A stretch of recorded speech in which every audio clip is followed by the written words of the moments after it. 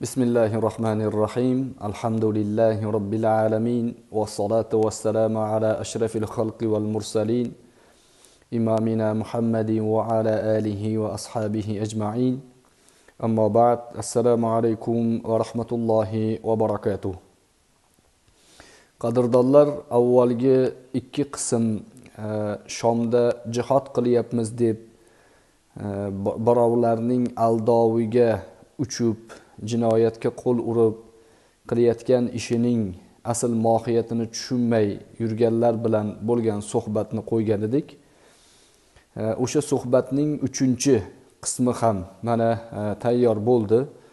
Uchinchi qismida ham xuddi o'sha avvalgilariga o'xshagan bir xil qolipda e, na shaxsiy fikr tushunchasi bor va na o'zining ilmiy salohiyati bor hech narsadan xabari yo'q. Qo'liga qurol olib man jihod qilyapman deb o'ylab aslida jinoyat ko'chasida yurganlardan yana birining misolini inshaalloh hozir tinglaysizlar. Ko'pchilik bu suhbatlardan foyda olayotganligini hayotda ko'rib turibmiz tajribamizda buni boshimizdan o'tkazib turibmiz. Lekin shu jinoyat ko'chasiga kirish va shu orqali o'zining shaxsiy manfaatlarini ko'zlayotganlar yoki qilayotgan jinoyatini shar'iy dalillar bilan oqlashga urinayotganlar bu suhbatlardan juda e, qattiq xavotirga tushganligi ularning bozori kasodga uchrayotganligi voqelikda hodisalarning e, jarayonida ko'rinib turibdi. Shuning uchun ular e, hozirgi kunda tish tirnog'i bilan E, internet sahifalarida shaxsimizga nisbatan tuhmat kompaniyalarini uyushtirishyapti. Aytayotgan gaplarimizni kesib e, noto'g'ri ma'noga mafhumga burishga harakat qilishyapti. Lekin alhamdulillah millatimiz e, bu hodisalarni ko'rib bilib aqlini ishlatib ko'ryaptiki bu yo'l jinoyat yo'li ekanligini shariat maqtagan o'sha ulkan amal jihodning Э, obro'siga to'g'ri kelmaydigan ish ekanligi jihod bu muqaddas tushuncha ekanligi bu muqaddas tushunchani jinoyatning nomiga qo'yib olishlik noto'g'ri ekanligini tushunishyapti. Yana shu joyda bir narsani ta'kidlaydik suhbat davomida ham eshitasizlar ko'rasizlar inshaalloh. Bu suhbatlarda biz e, shaxsan tashabbus bilan chiqib ular bilan gaplashishlik ga juda vaqtimiz ham ya'ni serob emas bizni zarur qiladigan ishlarimiz shariatga muvofiq darslarimiz e, turli xil ilmiy ishlarimiz bor lekin atrofimizda o'shalarning ig'vosiga uchayotganlar va ular o'zlari hujum qilib bizni musulmonlarimizni boshini aylantirayotganligi va alhamdulillah yoshlar endi ularga birdan ishonib ketmasdan ularning tarqatayotgan ig'volarining asl ma'nosini bizdan so'rayotganligi xursand bo'larli hodisa. Mana shu vaziyatlarda biz javob o'laroq ular bilan gaplashyapmiz. Ya'ni biz boshlamayapmiz ularni kavlashlikni. Ular o'zlari bizni atrofimizdagi musulmonlarni aldab o'z jinoyatlarini jihod deb qochib ketishlarini e, hijrat deb nomlab bizni yurtlarni kufr kofirlar davlati deb nomlashligi oqibatida biz ularga qarshi gapirishlikni e, shar'iy burchimiz bo'ynimizdagi zimmamizdagi mas'uliyatimiz deb bilyapmiz. Alhamdulillahi robbil alamin bu ishlarning natijasi ko'rinyapti yoshlarning ko'zi ochilyapti ilmga ergashishyapti. Bunday havorijiy tushunchadagi odamlarni jinoyatlarini diniy matnlar bilan berkitishga urinayotganlarning asl maqsad g'oyalarini tanishyapti bilishyapti va undan saqlanishlikka harakat qilishyapti. Alloh subhanahu va taolo bizlarni hidoyatda bardavom qilsin. Mana bu e, uchinchi suhbatni ham eshitasizlar inshaalloh. Avvalgisidan deyarli farq qilmaydi lekin bularning fikriy doirasini yaxshi anglab tushunib olishimiz uchun bu suhbat albatta manfaat bo'ladi degan umiddamiz. Haqqimizda duo qilinglar. Alloh alloh subhanahu va taolo dunyoda ham oxiratda ham o'zining mahbub bandalaridan bo'lishimizni barchamizga nasib qilsin subhanakallohumma va bihamdik nashhadu an la ilaha illa anta va nastag'firuk va natubu ilayk va axiru da'wana anil hamdulillahi robbil alamin assalomu alaykum va rahmatullohi taala va barakatuh rahmat aka tinchmisiz ha tinch ha men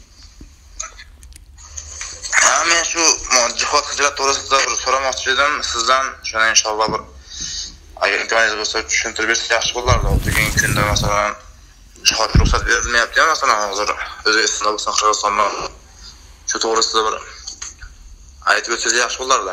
Aka? Nimasini siz tushunmayapsiz? Man endi ko'p gapirganman. Qaysi mavzusi masalan hozir shu masalan jihodkada masalan bugungi kunda masalan hozir dunyoda qayerda qayerda bo'lsa ham masalan musulmonlar hozir nima deydi um, o'ldirilyapti qiynalyapti masalanda azobda to'g'rimi hozir? Shunga masalan ozmonlar masalan hamma jim turibdida masalan qara nima deydi bir e, jihodga ruxsat bermayapti ya'ni chiqinglar jihodga demayaptida shunga siz nima deysiz masalan? Bu savol sa- umumiyroqda siz aytayotgan narsa jihodga jihod deganda aynan suriyadagi abu salohga borib qo'shilishi jihod deb nomlash kerakmi? Shuni aytyapsizmi? Yo'q aynan jihod masalan afg'onistonda ham bor bugungi kunda masalan не только masalan suriyada hozir to'g'rimi? Afg'onistonda ham bor masalan ko'p yerlarda jihodlar ko'p yerlarda jihod jihod haqida jihod haqida ma'lumotingiz bor a jihod nima? Qachon bo'ladi? Kim e'lon qiladi? Qaysi bayroq ostida bo'ladi? Bularni bilasiz ha endi yaxshi masalan bilaman inshaalloh. Ho'p qanaqa jihod o'zi nima o'zi? Siz aytingchi unga qarab keyin gaplashamiz. Ha bu jihod bu shu kofirga qarshi jang qilishni. Kofirga qarshi jang e, bu mutlaq shunaqa ma'nosi bormi yoki e, ma'nolar ichida bitta ma'nosi shumi? Yo'q bu jihodda buni ma'nosi ko'p juda qo'zg'alish degan masalan qo'zg'alasiz masalan kofirga masalan bugungi kunda to'g'rimi hozir masalan musulmonlarda yeri ketgan masalan hozir ispaniya bo'lsin masalan ko'p yer hozir musulmonlarni qo'lidan ketgan to'g'rimi? Olib qo'yganda уже bugungi kunda masalan jihod farz ayn yo farz kifoyami? Farz ayn masalan. Yo mavzuni boshidan bo'lishiga qaramasdan mavzuni boshidan hali anaqa qilmadiku. Jihodni e, ma'nosi ko'pda endi mana aytyapsiz. Qo'zg'alish emas. Jihodni ma'nosi harakat degani. Qo'zg'alish boshqa narsa. Ha, ha, harakatlanish ya'ni harakatlanish ya'ni. Shu shunaqa ma'noda endi. Yo endi farqi borda. Bu shariat e, masalan har bir lug'atni istilohiga ko'ra keyin e, hukm barpo qiladida. Umumiy xulosada jihod farzi ayn farzi kifoyaga o'tmasdan oldin biz jihodni bilib olishimiz kerakda jihod o'zi nima? Jihod nima masalan siz nima deb tushunasiz? Jihod nima istilohda? Shu jihod degani shu kofirga qarshi yo'l yo'liqqanda jang qilish degani. Shuni tushunaman inshaalloh boshqa bunaqani tushunmayman. Shu ja- jang qilish kofirga qarshi jang qilish qur'onda bir oyat borda masalan vajahidhum bihi jihadan kabiro degan oyat bor. O'sha yerda jahidhum bihi deyapti. Jihod qilgin jihodan kabiro katta jihod qilgin ular bilan e, ularga qarshi deyapti. Shu shu yerda kofirga qarshi jang ma'nosi bormi shuni? Esa sal falsafa bo'lyapti yaxshi gap eshitilyapti hozir antena yaxshi chiqmayapti shekilli menda Endichi? Inshaalloh. Endichi ha tamom tamom inshaalloh yaxshi. Xo'p, o'sha kofirga qarshi jang degan ma'noni bilaman deyapsiz. Boshqa ma'nolari ham borda jihodda. Masalan, Qur'onda to'g'ri meni просто endi bilganim shu masalan. Hozir to'g'ri jihod ma'noni jihodni ma'nosi ko'p. Juda yam ko'p masalan bilganim shu. Kofirga jang qilishlik buni juda yam ko'p ma'nosi bor yo, masalan, Qur'onda Qur'onda jihod kalimasi faqat urush ma'nosida kelmaganda. Qur'onda vajahidhum bihi jihadan kabiro degan oyat bor. Fala tuti'il kafirina kofirlarga itoat qilma vajahidhum bihi ularga qarshi Qur'on bilan jihadan kabiro katta jihod qilgin degan. Bu Makka da nozil bo'lgan bu e, va bu sura Makka da nozil bo'lganligi hali urushga ruxsat bermagan paytdagi oyat bu va bu oyat hali nasx bo'lmagan. Hozir ham bor bu oyat. Hozir ham bu oyatga amal qilinadi. Demak, urush ma'nosi jihodda birlamchi emas. Jihodni ma'nolaridan e, qurolga aloqador bitta ma'nosi bor. U ham o'sha harakat. Uni yoniga fisabilillohni qo'shish kerak. Qur'onda qayerda vajahidu fi sabilillahi haqqo jihadih bo'lsa, unda qurolli jang haqida gap ketayotgan bo'ladi. Lekin qurolli jangga ruxsat qitol bilan kelgan. Kutiba kuti siz jihod farzi ayin bo'lgan deyapsiz-ku. Farzi ayinligini e, oyatdagi dalilini bilasizmi hozir gapingiz uzilib uzilib kelyapti albatta gapingiz uzilyapti shu yerda tashqariga chiqib qolasan men yo'q manda yaxshi internet. Gapingiz uzilib qolyapti. Xo'p, jihodni farzi ayin bo'lganiga dalolat qiluvchi oyatni bilasizmi? oyatnimi Ha. yo'q oyatni bilmayman ammo bugungi kunda jihod farzandligini bilaman. Yo oyat kifoya emas chunki Kim aytdi masalan musulmonlar yerlari ketgan masalan. Kim aytdi sizga farzi ayin bo'lgan deb? Bugungi kunda qarang hozir qayerda qaraysiz musulmonlarni masalan qiynalyapti to'g'rimi Qayerda qiynayapti? O'zbekistonda qiynayaptimi? O'zbekistonda qiynayaptimi? O'zbekistonda qiynayaptimi? Malayziyada qiynayaptimi? Turkiyada qiynayaptimi? Bitta ikkita shaharda problema bor. Uni hech kim inkor qilmaydi, lekin hamma joyda deb ommalashtirmang. Qarang men eshitdim masalan agar o'zbekistonda qiynalmayotgan bo'lsada masalan suriyada qiynayapti to'g'rimi afg'onda qiynayapti masalan sharqiy turkistonda qiynayapti masalan juda ko'p yerda qiynayapti masalan hozir Siz- siz- Termada qiynayapti Siz e, siz shariat e, shariat matnlari bo'yicha gaplashaman desangiz, gaplashaylik. Bo'lmasa sizni shaxsiy tushunchangiz shariat emas. U jihod deganda o'sha Suriyadagi jihod deganingizda Abu Salohni tushunsangiz, jihod deganda Afg'onistonni tushunsangiz, Saloh emas bu yerda afg'oniston ham bor bu yerda ko'p yerda jihod bo'lyapti masalan bugungi kunda masalan endi qarangda jihodni jihodni farzi ayin deyapsiz. Jihodni farzi ayin deyapsiz. Alloh taolo Anfal surasida e, o'sha e, musulmonlarga jihod yo'lida yordam berishlikni e, buyurganda davomida u o'zaro musulmonlar o'rtasida ahd bo'lsa, ahdnoma, shartnoma bo'lsa, yordam berib bo'lmaydi degan e, buyruq bor. O'sha buyruqqa ko'ra Afg'oniston, Suriya, e, siz aytayotgan sanayotgan davlatlarning hammasi bilan umumiy musulmonlarning shartnomasi bor. Chegarasi bor, ularni diplomatik aloqasi bor. Uni u musulmon shartnoma bor, ya'ni bir-birining chegarasini tan olish, kirib kelmaslik, bostirib kirib kelmaslik haqida. bir biriga yordam bermaslik shunaqa shartnomami bir biriga yordam bermaslik shunaqami shartnoma Kim aytdi yordam bermaslik deb? Chegarasini tan olishlik shartnomalari bor, kelishish shartnomalari bor, urushmaslik shartnomalari bor. Shartnoma bor mutlaq. Alloh taolo shartnomalarga amal qilishni buyuradi. Shartnomaga amal qilishni Alloh buyuradi. Bizni o'z tushundim tushundim masalan Endi shundan kelib chiqib, endi shundan- shundan kelib chiqib- uni hech kim hech kim ikkita jasad demayapti. Uni hech kim uni hech hech kim ikkita jasad demayapti. O'sha shartnomalarga amal qilish ham musulmonlarni bitta jasad ekanligiga dalil.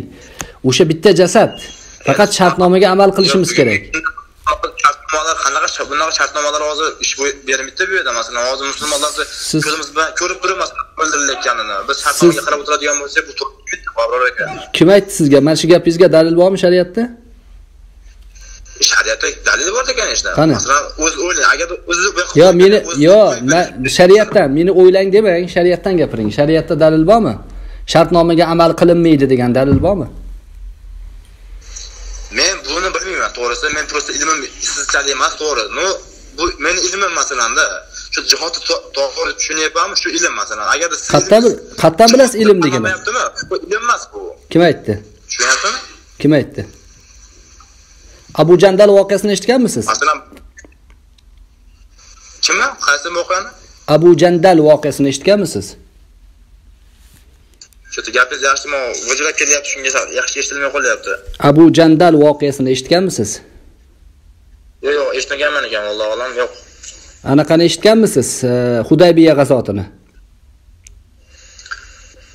E, to'g'risi men eshitgan bo'lsam ham kerak no meni sal nima deydi sal esdan chiqib qoladi shuni shunga esdan chiqarib qo'yaman men borda ko'p narsani shunga erkan bo'lishim mumkin bu Xo'p, endi nima qilamiz endi? Hozir siz ko'p narsani bilmaysiz. Bilmagan narsangizda hozir men bilan suhbatlashaman deyapsiz. Men nima qilayin endi? Hozir sizni aytgan gapga rozi bo'lib ketaveraymi? yo'q men sizga hozir to'g'ri men shariy ilmim yo'q sizchalik to'g'risi endi sizni ilmingiz masalan bor ekanda ilmi bo'lib turib mana haqni gapirmaganni qanday tushunsa bo'ladi masalan haqni gapirmayapsiz to'g'rimi qayerdan bilasiz?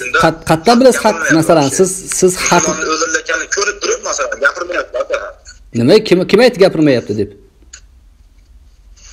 subhanalloh ayt aytildi odamlarga jihod emaski o'shalar chiqqani uchun odam o'ldirishyapti. Ular sal o'zini ushlab uyda indamay o'tirsa shu janjal bo'lmaydi shu. Qo'liga qurol ko'tarib olib. Bugungi kunda hozir kimga kimga kimga qarshi jang bo'lyapti bilyapsizmi hozir? Shiyalar kim bu? Shiyalar musulmonmi shiyalar siz siz shariat siz shariat bo'yicha gaplashasizmi man bilan? Shariat bo'yicha gaplashasizmi? Men shariat to'g'ri tushunmayman to'g'ri. Ha unda nimani gaplashamiz unda? Nimani nimani gaplashamiz unda gapiravering inshaalloh shar- shariat bo'yicha men sizga- ilmim yetgan ilmingiz yetmayapti. man sizga aytyapman jihodni farzi ayin bo'lgan chiqsin deyapsiz. Siz kimsiz? Musulmonlarni nomidan gapiradigan ahli ilmmisiz muftiymisiz siz? oddiy bir musulmonman men. Oddiy musulmon oddiy bir musulmon. ya joningiz man qarang sizni joningiz achigandan boshqalarni ko'proq achib turibdida. Siz ilmingiz yo'qda tepaga chiqib olib imomga o'taman deb odamlarga da'vo qilyapsiz siz ilm oldin o'qing Abror aka agarda siz ilmingiz masalan siz ilmingiz. Agar haqni gapirmayaptim bu ilm emasda bu. Siz haqni qayerdan bilasiz ilmingiz yo'q-ku ha men haqni bilaman men haqni Qayerdan? eshitib kelyapman masalan shuncha odamlarni eshitaman masalan haqni bilaman qayerdan bilasiz haq bo'lmasa-chi o'sha eshitayotgan narsa. Haq inshaalloh inshaalloh allohga qasam bu haq inshaalloh bu abdulloh masalan. Abdulloh zufar haq deysizmi inshaalloh abdulloh buxoriy deyman abduvali xor aka inshaalloh ko'p olimlar bor inshaalloh Ha, demak siz siz haqni faqat shularda deb bilasiz boshqa odam shularga o'xshab gapirmasa demak nohaq bo'ladi shunaqami agarda mo til mo til haqni gapirmasa u tilni keragi yo'q masalan abror aka shuni tushuning Man sizga- gapirmayaptimi til- tilni keragi yo'q masalan o'sha haq nima o'sha haq nima haq menga haq haq nima o'sha haq siz aytayotgan gapirish kerak bo'lgan haq nima? Haqdir zulm zulmni ko'rib turib gapirmasak bu haqni yashirishlik bo'ladi bu. Zulmni ko'ryapsizlar bugungi kunda. Hamma yerda zulm bor masalan. Haq gapirilmayapti bu haqni ko'rib turib bu jim turishlik bo'ladi bu. Endi Gapiringlar, qarangda hozir hozir sizni mana hozir siz ham tog'utni bir sherigisizda hozirgi aytayotgan gapingiz bo'yicha. Shariatni bilmaysiz shar'iy dalillarga aqlingiz yetmaydi. Tog'ut siz o'zingizcha shariat to'qiyapsizda hozir jihod farzi ayin bo'ldi deyapsiz. Uni kimdandir eshitib olgansiz. Ispaniya qachon ketgan ispaniya qo'ldan Siz- to'g'rimi? siz- ancha bo'ldi ispaniya ketgan siz e, sizni mana shu fikriy doirangiz tushunchangiz shariatmi?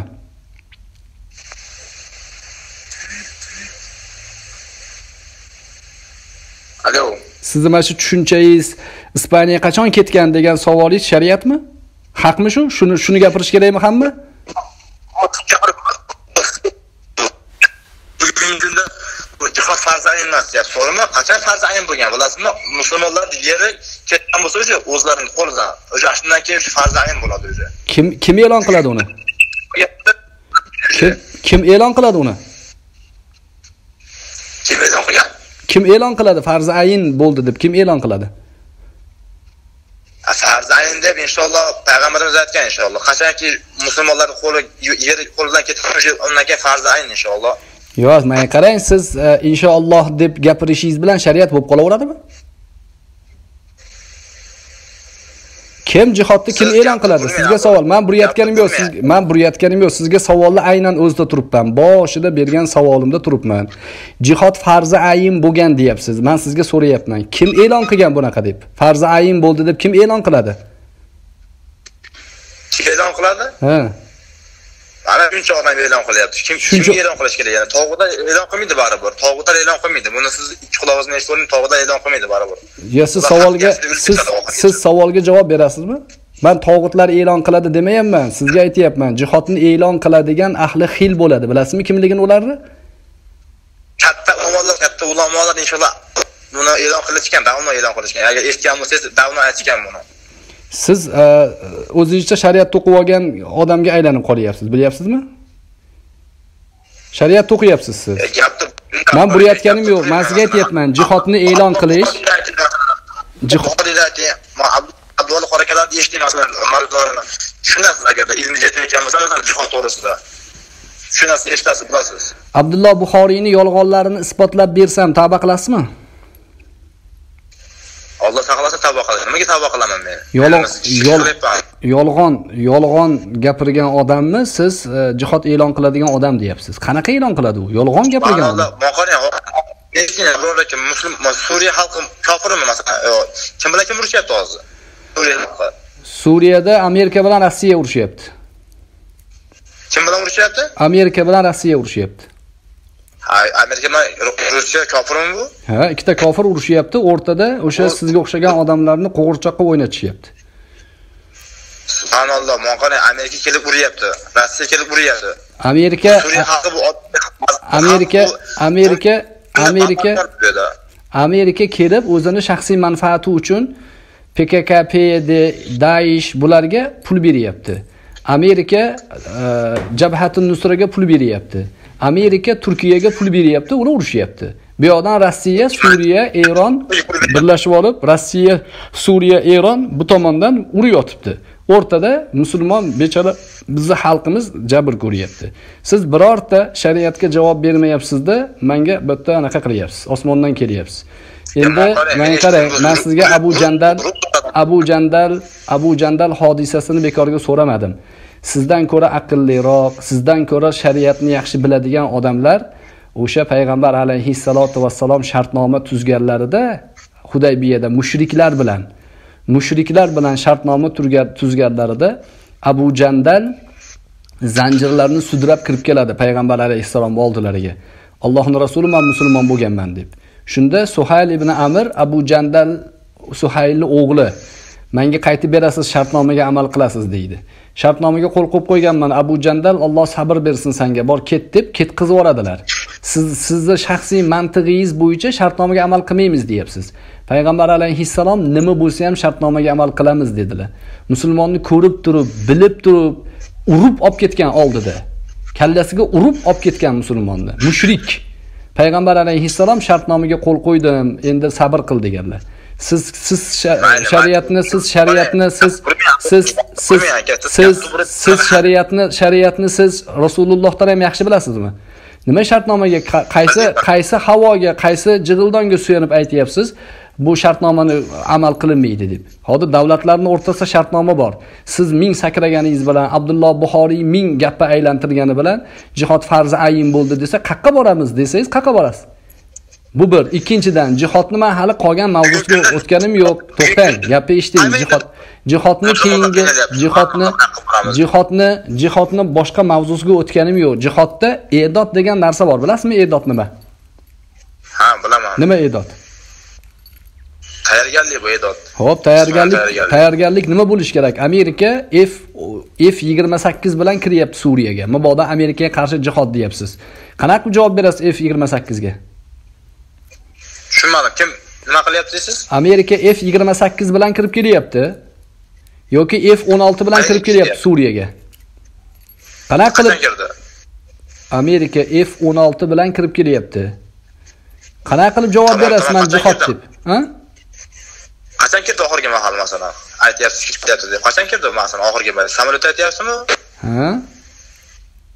qachon kirdi? Qachon urdi oxirgi mahal Qachon bo'lsa ham hozir F u askarlari yerdan kelmayapti Amerikani. Asosan o'sha raketa bilan uryapti. Rossiya ham shu Rossiya ham shu. Endi rossiya ham uryapti mana kimni uradi masalan rossiya Xo'p, sizga savol. Xo'p, sizga savol. Sizga savol. E'dod Hmm. e'dodga tayyormizmi, yo'qmi biz? tayyormiz inshaalloh Qanaqa tayyorsiz?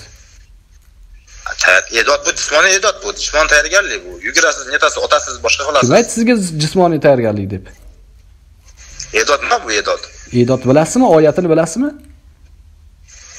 Oyatini bilmayman men jismon edodni eshitganman oyatini bilmayman Qur'onda shunday oyat borda ittahadu ahbarahum va ruhbanahum arbaban min dunillah degan. Allohning shariatini bir chekkaga qo'yib, o'zini domlalarini xudo qilib olganlarni Alloh taolo tanqid qilgan. Siz shariatni bilmayman, siz shariatni bilmaymanman. Abdulloh Buxoriy aytgan, Abduvali qoraka aytgan desangiz, ularni xudo qilib olgan bo'lasiz. Bir ma'noda. Ular aytgan gap gap. masalan bu shariat shariat bo'yicha gaplashaman desangiz shariat bo'yicha gaplashamiz. Hamma gapga aylantirib e, sirg'anib chiqib ketaman desangiz ha- adashasiz. Man unaqa sirg'anib chiqartirib olmayman. Sizga savol beryapman. E'dod haqida nima tushunchangiz bor shariatga ko'ra? Edod degani bu jismoniy tayyorgarlik degani. Bu kofirlarga qarshi jismoniy tayyorgarlik. Qo'ldan kelgancha imkoniyat boricha dalil. din dalil. Nima nima dalil? Dalil. Qaysi dalil? Shunga siz aytayotgan gapni dalil. Qaysi dalil quvvatlaydi nima deganingiz qaysi dalil? Alloh taolo aytgan kofirlarga qarshi is- jismoningiz boricha quvvatlaning degan hozirlaning degan. Eshitmaganmiz bu oyatni. Man sizdan so'rayapman o'sha oyat nimaga oyatni o'zgartiryapsiz? Oyatni o'qiyapsiz siz. Olloh gapiryapti deb o'zingizni kallangizdagi gapni gapiryapsiz. Xudodan qo'rqmaysizmi? Bu yangi shariat emasmi bu bilmayman. Man bilmayapman sizga aytyapman alloh taolo nima deganini man arabiysini ham o'zbekchasini ham tafsirini ham bilaman man buni. Va aiddu lahum mastata'tum min va min ribatil khayli turhibuna bihi aduvallohi va aduvakum mana bu oyat. Bu oyatda siz aytayotgan ma'no yo'q. Nimaga shariatda siz qani jismoniy tayyorgarlik qil degani? Nima deyapti masalan? Imkoniyatingiz boricha tayyorlaning deyaptimi? Shu oyat to'g'rimi? Shuna deyaptimi? Imkoniyatingiz boricha tayyorlaning demayaptimi Menga qarangda siz shariatni e, unaqa yengil o'yin deb o'ylamang. Shariatdagi har bir harf oyat, dalil, har bir harf, har bir harf, har bir harf ilmim oz bo'lsa ham, men qarang, ilmim oz bo'lsa ham degan gap Men sizga Imom Termiziydan hadis aytib beraman. Ilmim oz bo'lsa ham deb Qur'ondan gap aytgan odam jahannamdan joyini tayyorlab olsin deganlar. Ilmim oz Qani dalil? Qani dalil? qani dalil? So'radizmi ijod nimaligini to'g'rimi sizga tushuntirdim imkoniyatim bor edi men ilmim unaqa Unaqa emasda. Siz tushuntirgan emasda, siz tushuntirgan bo'yicha borsa, musulmon xalqi qurbon bo'ladi. Siz tushuntirgan bo'yicha borsa, borib men sizga tushuntirib berdim faqat Yo'q, yo'q, siz- alloh taolo aytyapti nima deyapti? boricha qo'zg'aling deyapti, to'g'rimi Qani qo'zg'aling? Qani qo'zg'aling? siz aytgan hadisni bu anaqa tafsiri bu Yo'q. Hadisi tafsiri oyatmi? perevod ya'ni perevodida Sizda sal qo'rquv bormi? Allohning oyati haqida gapiryapman axir. Ertaga bu noto'g'ri bo'lsa Allohga tuhmat qilgan bo'laman degan qo'rquv bormi? Allohdan qo'rqasizmi? bor Allohdan qo'rqasizmi? bor Hozir aytayotgan gapingiz Allohning oyati deyapsiz-da, o'zingizni shaxsiy tushunchangizni aytyapsiz. O yuqorida farzi ayin bo'ldi jihod. Hech narsa shart emas, borib urusha-urush kerak degan gapni quvvatlash uchun oyatni o'zingizga moslayapsiz. Men sizga oyatni o'qib berdim. Oyat faqat emas. Oyatda va aiddu lahum deyapti. Ya'ni kofirlarga tayyorgarlik qiling. Mastata'tum min quwwa. Quvvat jihatidan tayyorgarlik qiling. Quvvat nima? Quvvat bu hamma quvvat bu otish bo'lsin boshqa bo'lsin jismoniy quvvat bo'lsin to'g'rimi shunaqa kim aytdi uni? men eshitganman eshitganimni aytyapman sizdan Kim eshitganini gapiraversa yolg'onchiligi kifoya degan sahih hadis bor. Eshitganini gapiravermaydi. Eshitganini gapiravermaydi, birodar. O birodar, musulmon, men musulmon birodar sifatida gapiryapman. Eshitganini gapiravermaydi. Siz eshitgan narsa shariat emas hali. Siz uni tasdiqlab olishingiz kerak. men bilaman men bu Qani, qani oyat quvva nima degani? Quvva nima degani? quvvat degani bu quvvat degani bu odamni Nima degani? odamni quvvati imkoniyati boricha quvvatini siz otish bo'lsin yugurish bo'lsin jismoniy bo'lsin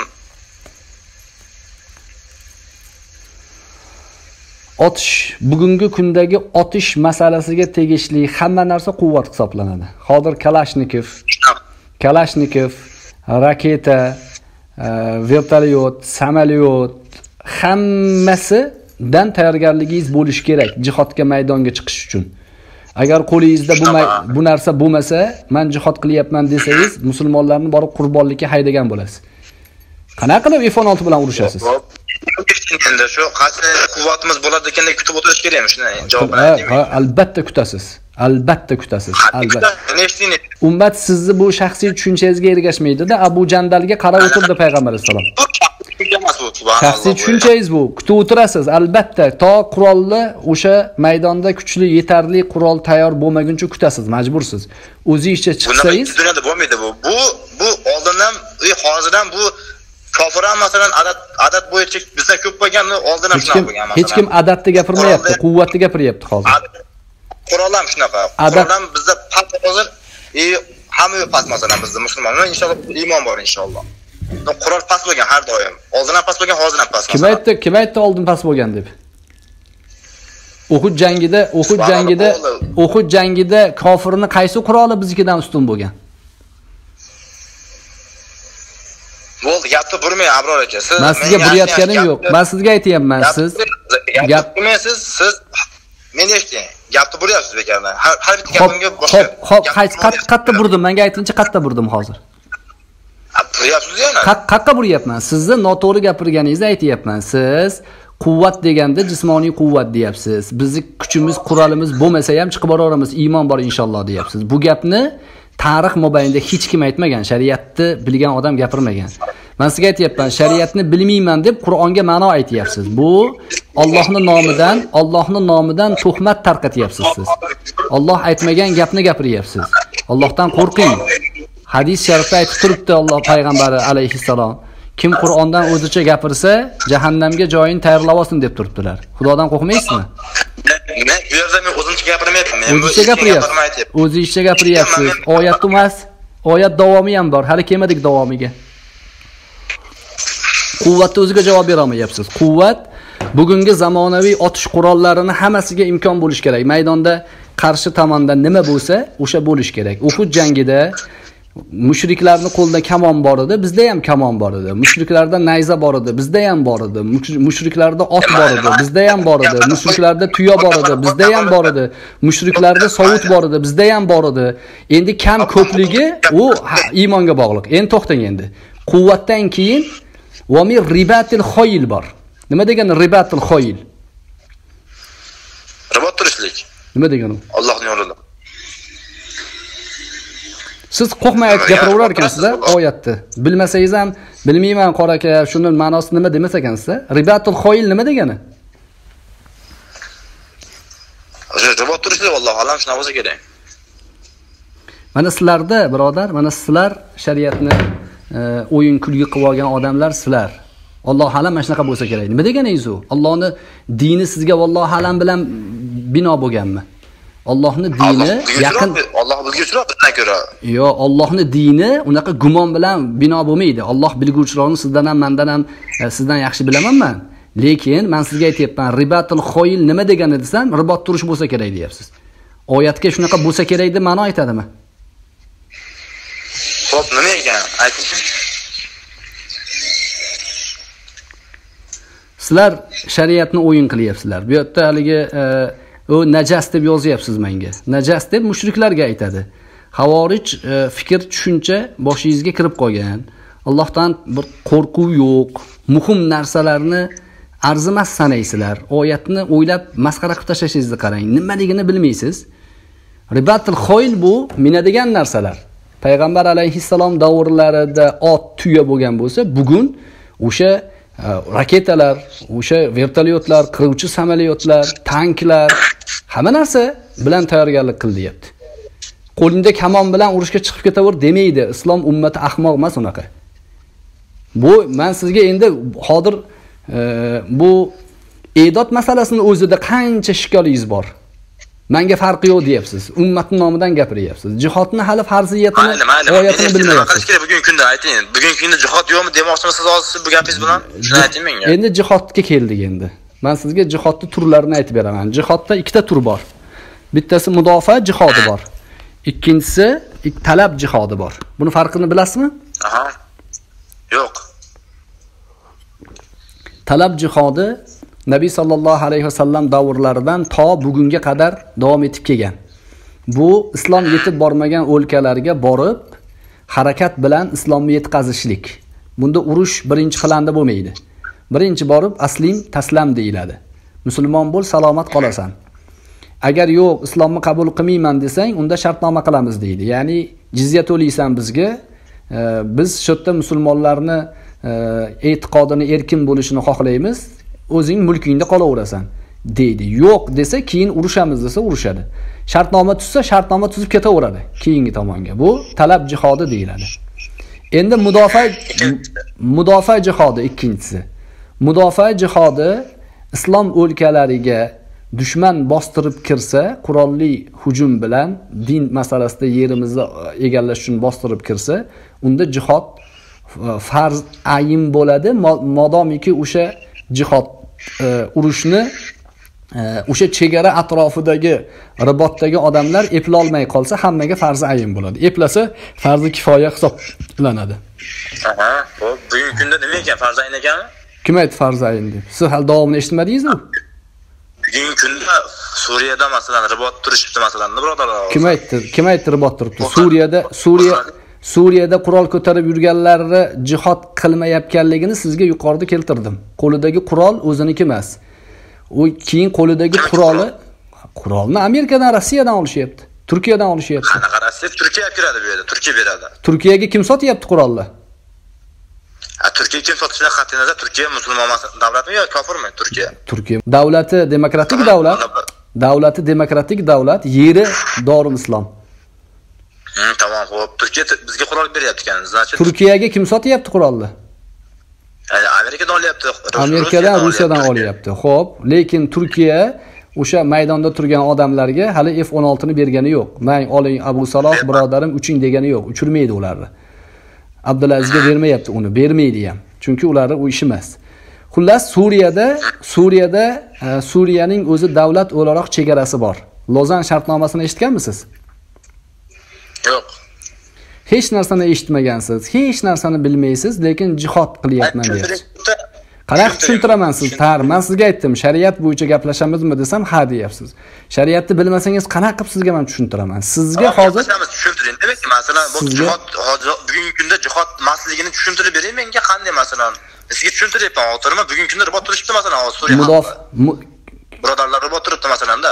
qanaqa qilib suriyaga qanaqa qilib Sur- suriyaga bostirib bordiku ular suriya xalqi Bostirib- mana qarang eshitib turing keldi masalan shialar hozir to'g'rimi kim aytdi? Kim aytdi birinchi birinchi nima bo'ldi bildingizmi? Birinchi arab bahori degan narsani eshitgan eshitganmidingiz eshitganmidingiz yo'q ajoyib sizni yengib bo'lmaydi hozir hech narsani bilmaysiz maza sizga. Hmm, nima ekan arab bahori? Молодец qoyil. Arab bahorini bilmaysiz siz qanaqa qilib jihod deyapsiz? Arab bahori degan narsa bo'ldi bundan 5-6 yil oldin hali ishi chiqmasdan oldin. Suriyada mitinglar boshlandi miting. Mavjud hukumatni ag'daramiz mavjud hukumat diktator. So'z erkinligi bizga demokratiya kerak deb e, harakat boshlandi. Birinchi harakatga jayshul hur jabhatun nusra e, harakatlari qurollantirildi mitinglarni orqasidan. Qurolni angliya berdi birinchi. Sizlar jihod qilinglar jihodga aylantiringlar buni deb. Keyin u yerda ulamolar aytdiki ho'y ko'zinglarni ochinglar. Bu islom o'lkasi musulmon yurti. Bu yerda hamma shiorlarimiz bo'lib turibdi. Namoz o'qiymiz juma o'qiymiz qur'on ta'limlari hadis ta'limlari bo'lib turibdi ozonlar bo'lib turibdi. Qanaqa jihod bo'ladi? deyishdi. Bunaqa degan odamlarni ham xuddi sizga o'xshagan bolalar kofirsansan murtadsan deb o'ldirishdi. Tushunishmaydi shariatni bilishmaydi. Keyin ish chappasiga ketdi. Davlat o'zini suriya davlati o'zini chegaralarini daxlsizligiga shartnomaga imzo chekkan. Shartnoma tuzilgan. Hali aytganman shartnoma tuzilgan. Shartnomani buzib qurolli kuch bostirib kirdi. U qurolli kuchni angliya amerika qo'llab quvvatladi. Keyin qurolli kuch ozgina qolganda asadni e, yengishlikka. Amerika boshqa kuchdan ishidni tashkil qildi daish ishid kirib kelib jabhatin nusrani urdi kirib kelib birinchi asad tarafini olib. Jabhatin nusra pashaga chiqib ketgandan keyin turkiyaga kelib jabhaning kattalari amirlari o'zlari yig'lab gapirdi. Biz aldandik dev birodarlar dedi aldandik. Angliya angliya bizga oxirgi paytda qurol bermay qo'ydi dedi. Ish mana shunaqa vayronga aylanib ketdi. Keyin buni suriyani tarafkashlari bor. Suriyani rossiya tarafkashi bor eron tarafkashlari bor. Bir tomonda turkiya suriyaga qarshi turkiyani amerika qo'llab quvvatlaydi. Turkiyaga qarshi pkk pyd tashkilotlari bor. Mana bular arab bahori degan demokratik yurishni e, vaziyatga qarab jihod deb nomlab olishdi va atrofga odamlarni chaqirib urushni to'xtatmaslik uchun chaqirib yotishibdi. Qani endi qani kim aytadi endi buni jihod deb? Shuncha gapni qayerdan ekansiz? Siz abror aka shuni menga ayting siz qayerdan o'zbekiston bo'lib turibsiz. Turkiyadagi yaqin tanishlarim davlat ishida ishlaydigan odamlarim bor u yerda ya'ni yaqin man bilan qayerda ishladi ular? Ichida masalan o'ziga uyarimini gapiryapti. Qayerdan eshitadi shuncha gaplarni shuncha ma'lumotlar eshitmaydi voqeani ichida turibdiyu voqeani ichida turibdiyu. Afrin e, ha afrin hodisalari bor albobga bo'lgan hujumlar bor. Bularni hammasi turkiyaning demokratik davlati daxlsizligi suriyaning demokratik davlati daxlsizligi. Hozirgi kunda idlibni bilasizmi? Idlibga jiho- jihodga chaqirishyapti. Lekin sakkiz yildan beri hali idlibni islom davlati deb e'lon qilishgani yo'q. Nimaga? Sizga savol.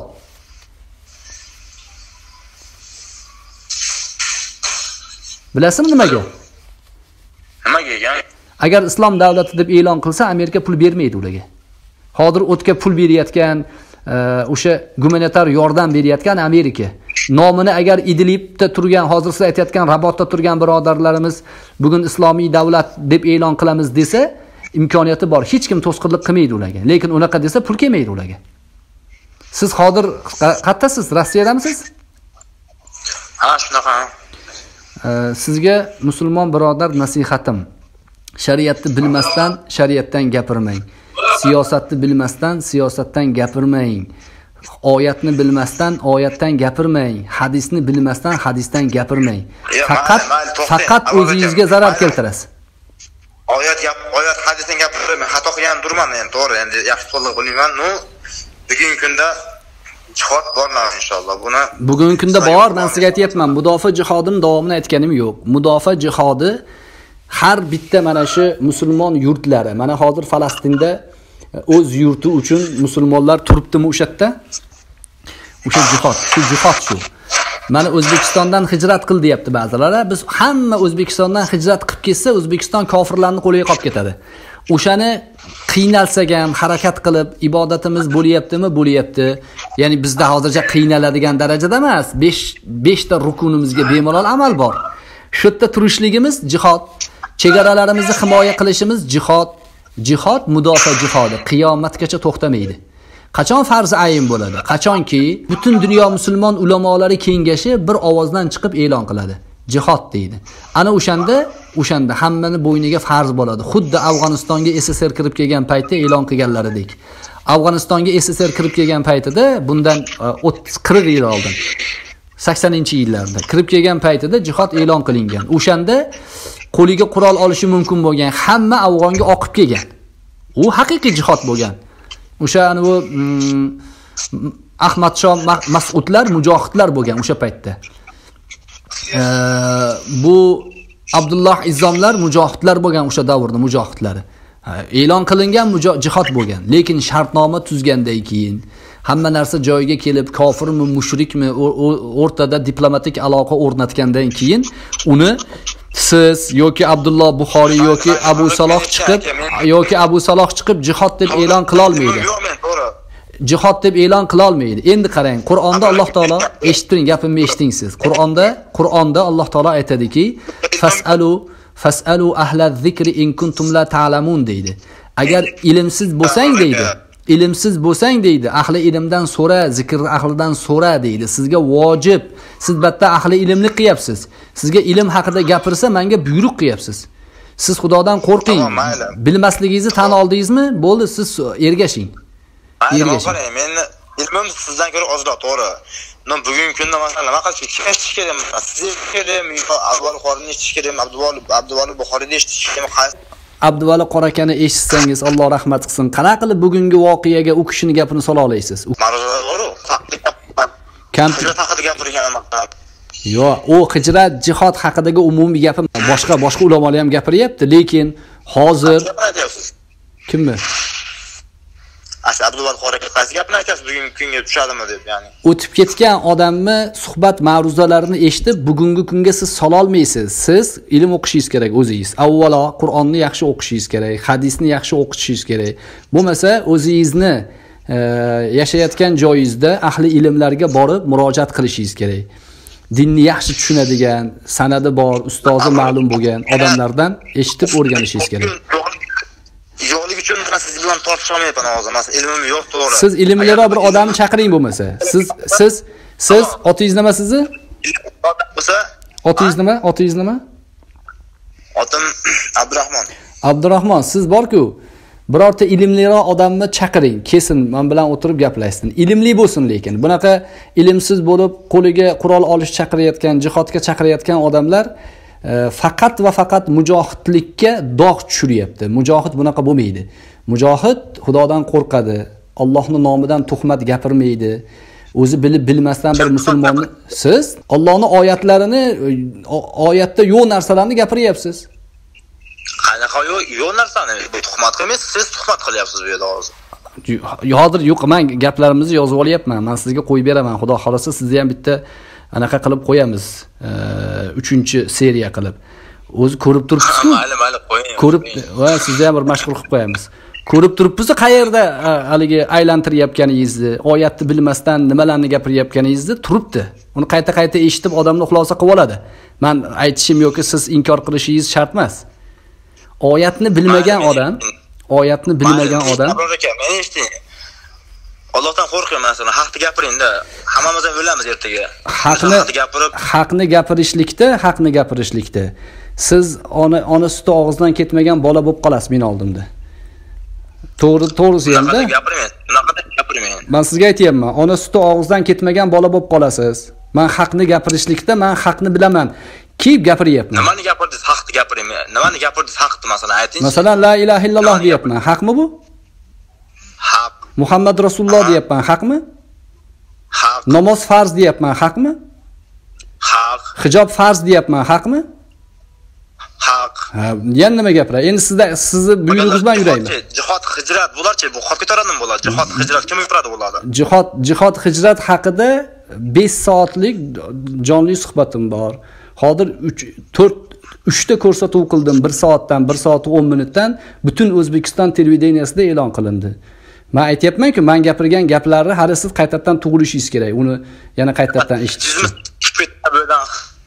Xatga chiqinglar deb sizmi aytmadingiz nimaga xatga chiqadi jihodga? Siz sizni aytganingizni qilishim kerak. qayerga turkiyaga chiqsin.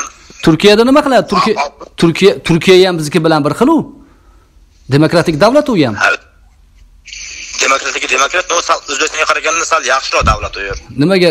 Galiboylarga ruxsat bergani yaxshiroqmi subhanalloh ro'molga ruxsat yo'q o'zbekistonda to'g'rimi? Kim soqolni qiryapti. qanaqa davlat bu? kim aytdi siz ana ikkita suhbatni eshitmadingizmi? yaqinda qirib yubordi yaqinda yaqinda qirib yubordi subhanalloh qirib- noto'g'ri o'shani noto'g'ri qildi dedim man. Man kechagi suhbatni eshitmabsiz bir eshitib oling siz yana mana bugungi suhbatda yana ko'pchilikni kulgisiga qolib ketasiz.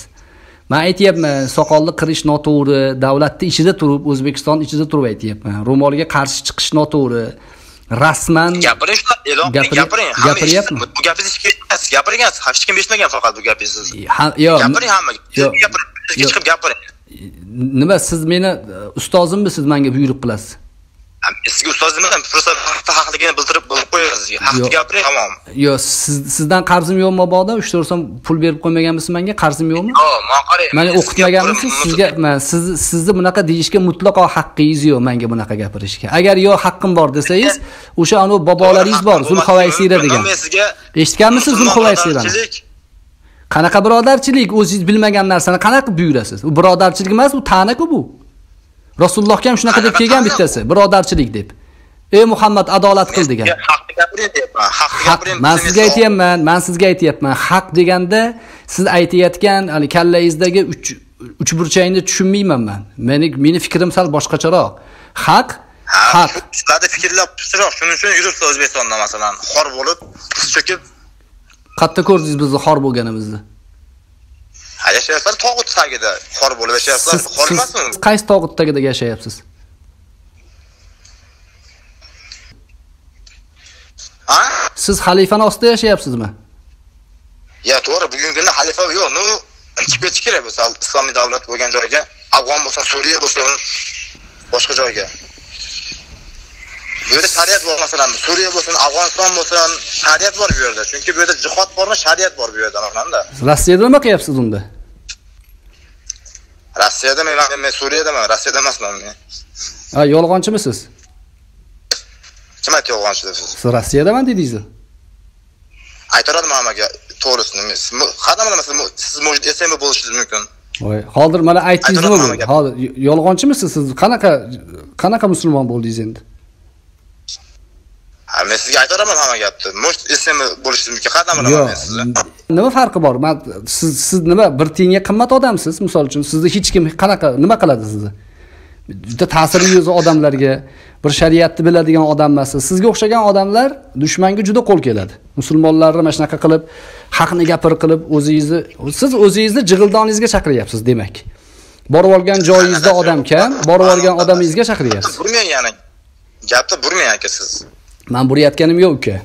Burayotganim yo'q. Sizga aytyapmanki yolg'onchi mana mujohid yolg'on gapirmaydi. Mujohid Allohdan qo'rqadi. Mujohidni sha'niga dog' tushiryapsizlar. Sizlar mujohid emassizlar yolg'onni shartlari bor nima yolg'on shartlarini ha shartlarini bilaman.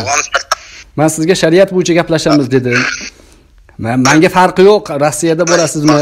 Ho'p rossiyada bo'lasizmi? Manga desa afg'onda suriyada bo'l manga desa italiyada bo'lasizmi? U sizni ishingiz. Man sizga aytyapman shariat bo'yicha suriyada suriyada qaysi qaysi guruhdansiz siz? Yo bundan ham qo'rqatsizmi aytgani?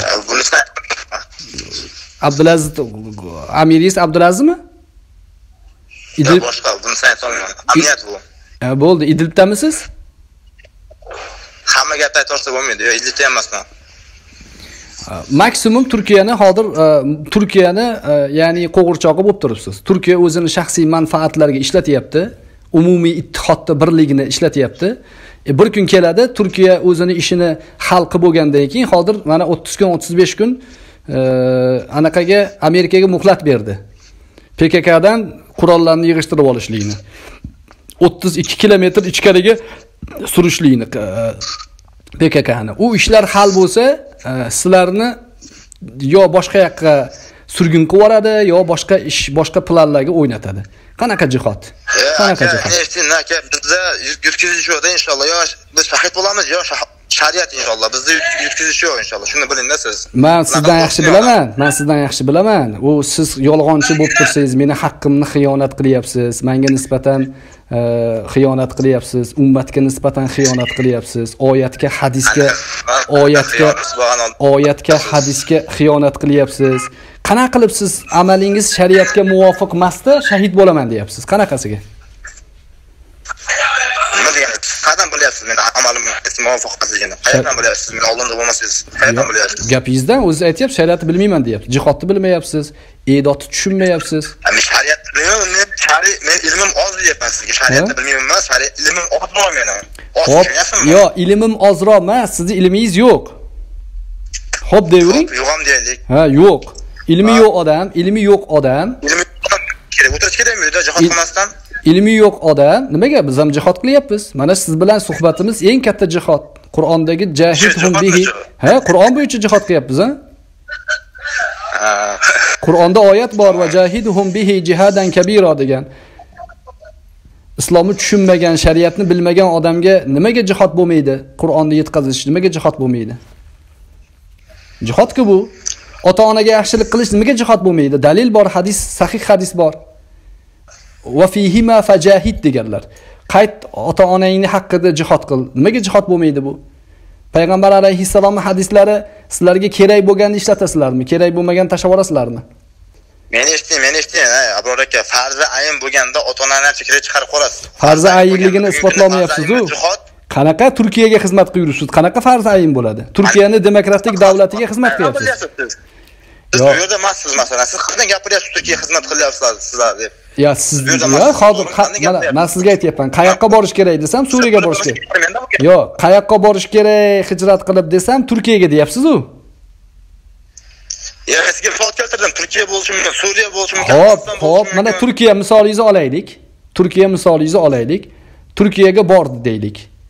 Turkiyani demokratik davlatiga yordam beryapsizlar-yu. Turkiyaga borgan sizni da'vatingiz bilan. To'g'rimi?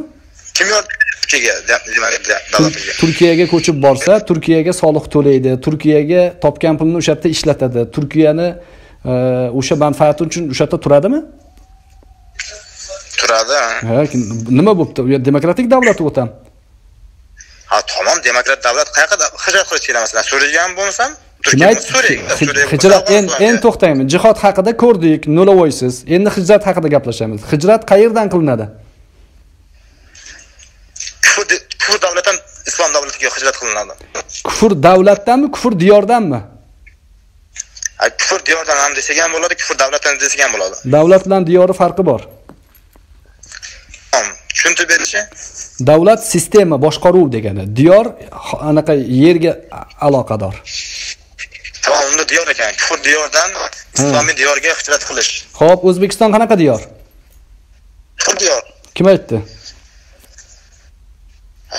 u yerda shariat yo'q subhanalloh namoz o'qimayotgan joyda qanaqa islom islomiy hayot deyish mumkin qanaqa islomiy shariat bor deyish mumkin bu yerda kim aytyapti o'zbekistonda namoz o'qilmayaptimi Ya hozir bo'lishi mumkin. O'qisha o'qishamaganmiz. kim aytyapti Kim ay- Kim davlat deysiz buni? Man aytmayman ulamolar ulamolar ittifoqi bilan aytadi abu saloh bilan bir soat ikki soat bahs qildim shuni abu saloh bilan Nima deydi Abu Saloh? Ma'ruzasi bormi? Ha? Gaplashganlar bormi? Joyli suhbat. ha bor bor man uni hali qo'yganim yo'q uni qo'yganim yo'q uni qo'yganim yo'q hali endi uni o'zidan ruxsat so'ramaganman bo'pti desa qo'yaman uni ham bu bu Abu Saloh bu sizlar bu. Siz o'ylamayman bu ilmi yo'q deb. man o'ylayotganim yo'q. Man sizga real voqeani aytyapman. Endi sizga aytyapman man o'z diyorlarni kufr diyori islom diyori ekanligida ulamolar ma'lum shartlarni qo'yishgan. Shariat bo'lmasa kufr diyori bo'ladi degan gap umumiy gap emas bu. Siz aytayotgandek darajadagi gap emas. Keyin shariat bo'lmasa e, islom diyori bo'lmaydi degandagi shariatni taqsimotlari bor. Ya'ni sultoniy hukmlar bor va xalq amal qiladigan hukmlar bor. Agar bir mamlakatda musulmonlar tomonidan fath qilingan bo'lsa va aholisi o'sha mamlakatda musulmon vojibalariga amal qilib yashayotgan bo'lsa u joy dorul islom hisoblanadi. Buni abu hanifa ham aytgan imom ahmad ibn hambalni matnlarida bor imom shofiiyning Ro- romli romliyning romliyning romliyning romliyning romliyning matnlarida ham bor. Ibn taymiyani matnlarida ham bor. Ibn qayyim javziyni ham matnlarida bor. Bular ta'kidlashgan. Va ular hukm shariat shariat hukmlari deganda shariat hukmlari deganda eshiting gapni oxirigacha. Nima tamom. Hech narsani bilayotganingiz yo'q hali. Sizni gapingiz tushunib qolmasa kerak bilib. man meni gapim emas man mushtahidlarni gapini gapiryapman sizga meni gapim emas sizga? Gapirmay bo'pti. Mana. andalusiyada arog'un degan joyda arog'un degan joyda nasroniylar musulmonlarni bosib oladi yerini. Shunda ulamolar imom romliyga e, chiqishadi. Aytishadiki nima qilamiz? Dorul islom dorul kufrmi? Hijrat qilaylikmi yo'qmi? deydi. Deganda imom romliy aytadiki imom romliy e, modomiki musulmonlar e, juma namoz o'qiyaptimi deydi ha azon chaqirilyaptimi ha besh vaqt namoz o'qilyaptimi ha o'zinglarni o'zinglar shariatinglarga amal qilyapsizlarmi ha u yerdan hijrat vojib bo'lmaydi balki o'sha yerda turish vojib bo'ladi deydi tushunyapsizmi Endi bugungi kunda men eshitdim endi bugungi kunda shariatga amal bo'lyaptimi? Masalan, O'zbekistonda. Bo'lyapti. Soqol qo'yishlik bo'lsin, hijab qilishlik bo'lsin, Bo'lyapti. jumaga borishlik bo'lsin. bo'lyapti bo'lyapti. Jumaga borgan paytda jumaga kirgizmaydi ekan yosh bolalarni, shunaqami? yo'q bekor gap. Yosh bolalarni kirgizmasa man qarang yosh bolalarni kirgizmasa man aytamanki noto'g'ri. Lekin yosh bolalarni kirgizmayapti deb hijrat qilish kerak deyishga haqqi yo'q hech kimni. Chunki yosh bolalarni yosh bolalarni gapni eshiting gapni eshiting abdurahmon. abdurahmon yosh bolalarni yosh bolalarni masjidga kiritish kiritmaslik ixtilofli masala chunki yosh bolaga farz emasda hali. Lekin afzal man aytamanki afzal. Kiritish kerak deyman. Eshiting gapni eshiting abdurahmon. Man kiritish kerak meni pozitsiyam bu. Lekin shariatni butun musulmonlar nomidan gapirishdan oldin shariatni qoidasiga qarashga majburmiz. Shariat aytadiki besh vaqt namoz o'qilyapti bizda jamoat o'qilyapti azon chaqirilyapti. Juma namozlari o'qilyapti nikohlar o'qilyapti janozalar o'qilyapti. Shariatning e, o'sha xalq amal qilishi kerak bo'lgan deyarli barcha jabhalarga amal qilinyapti. E, zakot berilyapti. zakot berilyapti. Mana Anvar o'lib ketdi masalan, to'g'rimi? Xalifani yo'q dedi masalan. gapni aylantirayotgan kim ekan?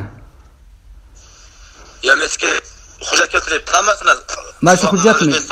Siz- siz- siz siz gapni aylantirsangiz hujjat keltirgan bo'lasizmi? Man dalil so'rasam e, siz man gap aylantirgan bo'lar ekanman. Ajoyib ekan sizni tarozingiz bo'pti man qarang mana o'zbekistonda to'g'rimi? Hozir bugungi kunda deyapsiz islomiy diyor deyapsizda.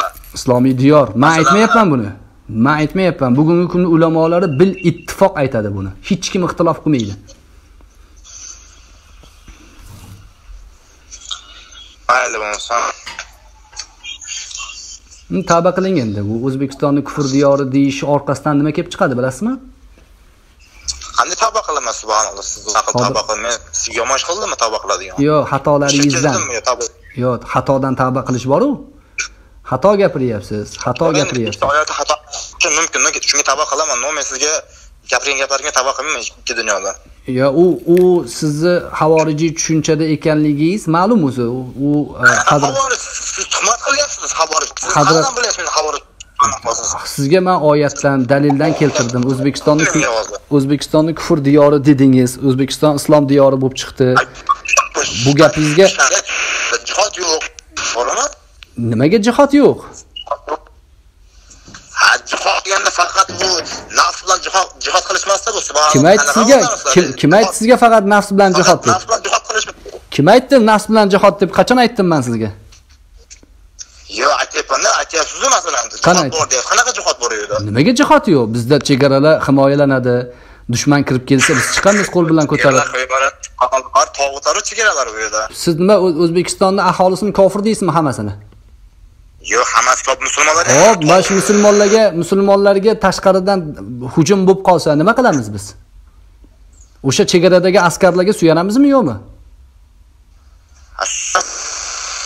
Jihod bo'lmasdan nima unda bu? To'g'rimi agarda o'zbeklar agarda bo'lamiz biz nima deysiz? Jihod yo'q agarda o'zbekistonda jihod boshlanadigan bo'lsa biz boramiz deyman jihod qilgan o'zbekistonga yo'q faqat jihoddan maqsad urushmi urush. Agarda masalan musulmonlar kelib ketgan bo'lsa masalan o'zlaridan. Urush qilib yerlarni qaytarib olishlik bu farzayn bo'ladi ha siz demak e, e, nima deydi? Haligi yuqorida aytdimu sizga mazada na shariatni bilasiz na bir axloqni bilasiz na bir haligi rujulatingiz bor aytgan gapingizni xatosini tan olasiz maza xohlagan joyda xohlagan gapni gapiraverasiz boshidan beri mana hozir xudo xohlasa man bir soatdan oshib ketdi qancha bo'libdi o'zi. Bir soatdan oshib ketdi suhbatimiz. Ha, bir soat bo'libdi rosa. O'zi bir soat atrofida kesib qo'yaman. Xalq o'zi musulmonlari ko'zi ochilishiga juda katta xizmat qilyapsizlar. Alloh ajr bersin. Bu tomondan rahmat sizlarga. Tashakkur. E, lekin din na bir dinni bilyapsiz na bir shariatni tushunyapsiz musulmon o'zbekiston yurtini xalqni uxlatyapsizlar sizlar shuni men eshityapsizmi oddiy xalqni uxlatyapsizlar haqni berkityapsizlar xalqni xalqni ahmoq deb o'ylamang. Xalq bir kishi uxlasa uxlab qolmaydi. Bu o'zbekiston ko'pchiligi qo'y bu. Mana shu mana shu sizlarni tushunchanglarda sizlar butun boshli xalqni qo'y deb olgansizlar o'zinglar e, sizlar haqinglardagi hadislarda sizlarni jahannam itlari deganlar payg'ambar alayhissalom butun boshli millatni nomidan gapiryapsizlar lekin u xalqni bu xalq dono xalq. Bu xalq juda katta ahli ilmlarni yetishtirgan. Bu xalq tarixda bu tarix bu xalq bu kim bu? xalq kim bu? bu xalq tarixdan juda katta ahli ilmlarni yetkazgan buxoriylarni chiqargan. Kim aytgan? Kim chiqqan ahli ilmlarni? Aytingchi. Buxoriy chiqqan. buxoriy chiqqan buxoriy. Tamom buxoriydan keyin termiziy chiqqan tamom yaqinda Nasaiy chiqqan. beruniylar chiqqan ibn sinolar chiqqan zamaxshariylar chiqqan yangilardan gapiring yangilardan eskilarni bilaman o'zim ham yangilardan gapiring emas Abduvali yaqinda- qor aka chiqqan.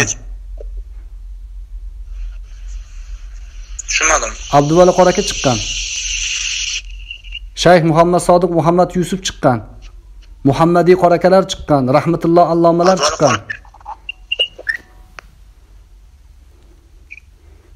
shularni xalq chiqargan shu zotlarni xalq tarbiya qilgan xalq shularni yemay yedirgan ichmay ichirgan shularni. Shularni shu diniy ta'lim bo'yicha xalqni oldiga ahli ilm bo'lishiga xizmat qilgan. Xalq qilgan. Siz shu xalqni qo'y deyapsiz siz. Bu xalqni qadriga yetmagan, bu xalqni qo'y degan odam, bu xalqni qo'y degan odam Abror aka. shu shu ahli ilmlarni ham xalq chiqargan. Xalq shularga yaxshi eshitmay qoldi. Qaysi Abror aka sanadingiz? Shayx Muhammad Muhammad Yusuf sanad. Yana kim? rahmatulloh alloma Muhammadiy qori aka, e, Ziyovuddin domla, e, Sho- Shomiy domlalar shu yerda tarbiya topgan. Sulaymon domla, Sulaymon domla, e, Alixon Tora sog'uniylarni mana shu xalq tarbiya qilgan. Mana shu xalq yemay yedirgan, ichmay ichirgan, o'zini xatariga qo'yib bularni himoya qilgan. Siz shu xalqni qo'y deyapsiz. Ahvolingizni bilyapsizmi? Qanaqa qanaqa saviyadagi odamsiz? Ya bu xalqni ko'pi qo'y, ko'pi. Meni eshityapsizmi? Bu xalqni ko'pi qo'y. Chunki kim nima desa ishonib ketaveradi. Kim nima desa masalan. Payg'ambarimizdan sahih rivoyat bor. Xalqni ko'pi adashgan degan odam o'zi adashgan deganlar. Demak, xalqni ko'pi qo'y degan odam, demak siz qo'y bo'lasiz. Qiyomatda kim adashgan, kim adashmagan. Man Rasululloh bo'yinlarga asladi. Ko'ramiz, ashpaytda gaplashamiz sizlar bilan. Man Rasululloh- Man Rasulullohni- man Rasulullohning hadislarini aytyapman sizga. Rasululloh gaplashamiz bilan inshaalloh. qiyomat sizni qo'lingizdami? Siz qilasizmi qiyomatni? Gaplashamiz erta-kechda bugungi bo'ladi inshaalloh. Bugungi suhbat mana mana bo'ldi. Bo'ladi. Yaxshi. Bo'ldi, gaplashmay qolamiz boshqa. Salomat bo'ling, xo'p. حينما رددت يا رب العباد وانتشت روحي